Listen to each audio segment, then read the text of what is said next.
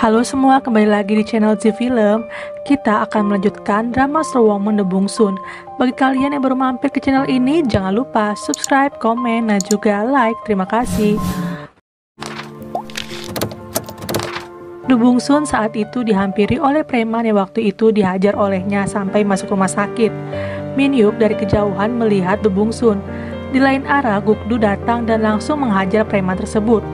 The Bungsun yang ingin melerainya, ia mendorong Gukdu, sehingga membuat Gukdu terpental. Gukdu selanjutnya membawa preman tersebut ke kantor polisi.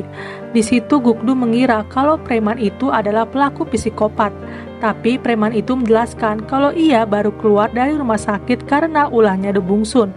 Sedangkan polisi senior merasa tidak percaya dengan cerita tersebut, yang di mana preman dikalahkan dengan seorang wanita. Gukdo pun langsung menyeret preman tersebut ke dalam jeruji.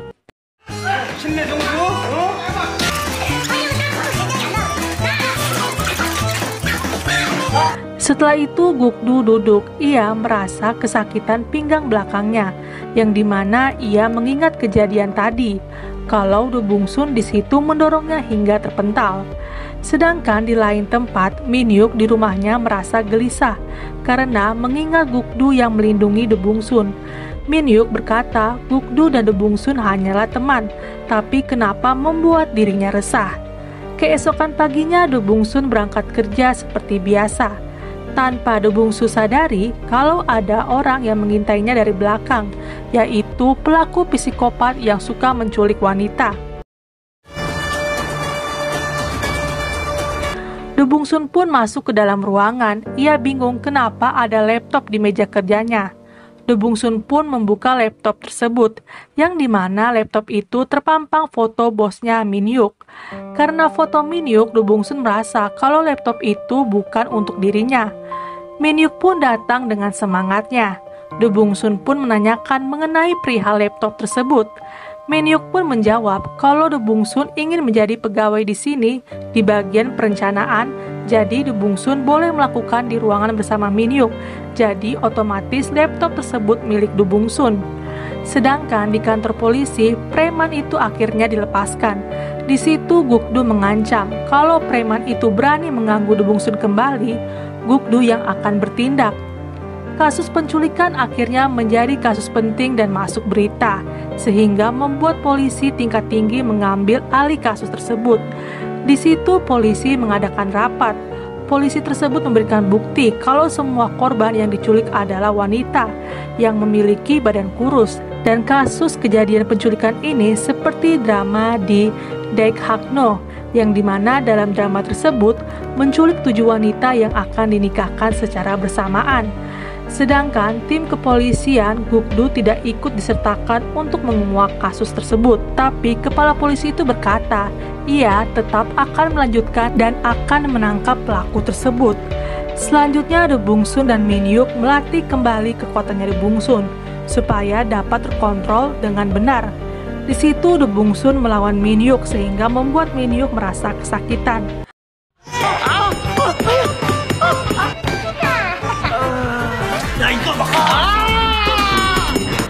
Harinya, murid sekolah yang nakal seperti biasa mengambil sampah di jalanan karena tugas dari Debungsun. Dan saat itu, preman suruhan Bekta mengotori jalan sehingga membuat murid itu kesal. Preman itu menghajar para murid itu sampai babak belur. Akhirnya, murid SMA itu menelpon Debungsun. Debungsun pun datang. Para preman itu mengenal Debungsun karena terkenal dengan kekuatannya preman itu meludahi sepatunya Debungsun. Debungsun langsung marah. Di situ Debungsun langsung menghajar preman tersebut.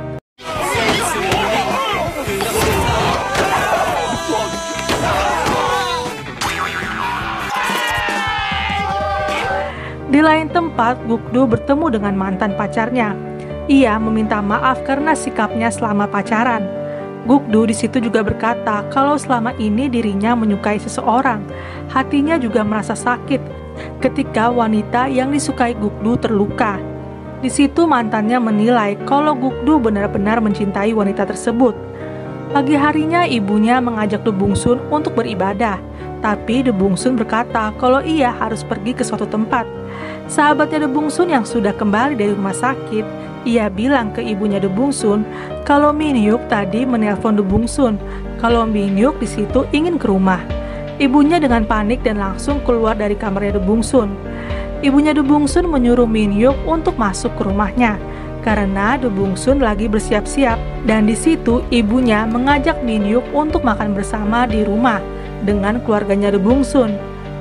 Setelah makan, Minyuk mengajak De Bungsun untuk bertemu dengan keluarga Minyuk.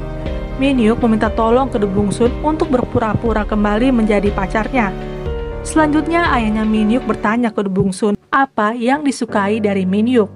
De Bungsun pun menjawab kalau Minyuk tampan dan juga sebenarnya kalau Minyuk itu adalah orang aneh. Ayahnya Minyuk tertawa terbahak-bahak dengan perkataan Bungsun. Ia mengakui kalau anaknya itu memang aneh. Selanjutnya, ayahnya Minyuk berbicara berdua dengan Bungsun. Ayahnya bercerita sebenarnya Minyuk dulu ketika belajar di luar negeri, ia banyak mempunyai wanita. Ayahnya juga berpesan ke Bungsun untuk menjaga anaknya. Setelah pulang dari rumah Minyuk, di situ Dubungsun sadar kalau Minyuk ternyata bukanlah seorang gay. Minyuk pun mengajak Dubungsun ke tepi sungai.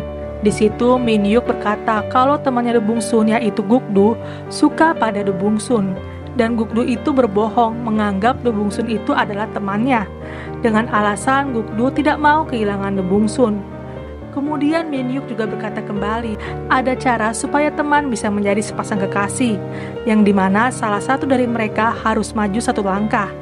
Dan saat itu, Minyuk maju satu langkah ke hadapan De Bungsun.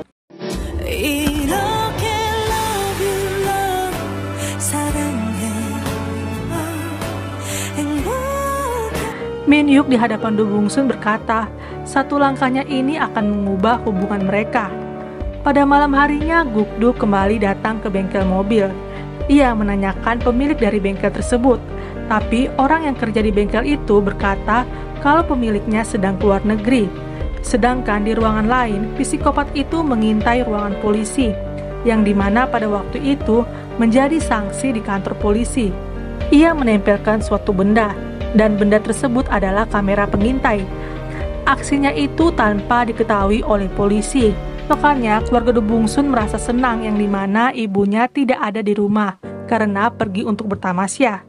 De Bungsun pun menerima telepon. Telepon tersebut seorang penipu yang disuruh oleh preman Bekta. Penipu itu mengatakan kalau ibunya diculik. De Bungsun langsung panik, ia pun pergi untuk menyelamatkan ibunya. Kemudian sahabatnya De Bungsun menelpon ibunya De Bungsun. Ibunya berkata kalau ia baik-baik saja dan tidak diculik, sedangkan Do Bung Sun pun sudah pergi. Saat hendak menemui pelaku telepon tadi, Min Hyuk menelpon Do Bung Sun. Do Bung Sun berkata kalau ibunya diculik.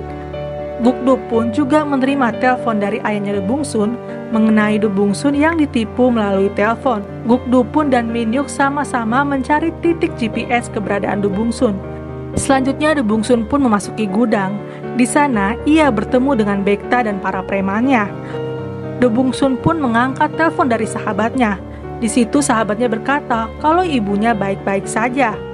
Bekta berkata ke De Bungsun, karena gara-gara De Bungsun, geng premannya kehilangan harga diri dan ia akan melawan De Bungsun satu persatu. De Bungsun pun tidak takut sama sekali melawan preman-preman milik Bekta.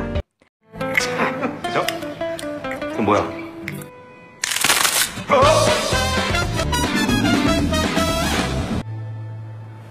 Oh. Jadi kira-kira gimana ya? Apakah The Bungsun akan menang melawan preman milik Bekta? Ditunggu episode selanjutnya. Terima kasih.